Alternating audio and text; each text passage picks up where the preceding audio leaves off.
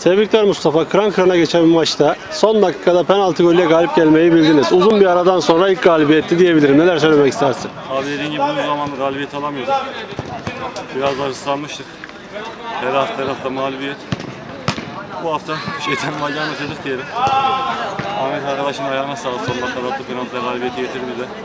Arkadaşlarımın ayağına yüreğine sağlık. İyi mücadele ettik. Önümüzdeki maçlara. Bundan sonraki maçlarda başarılar dilerim. Teşekkürler.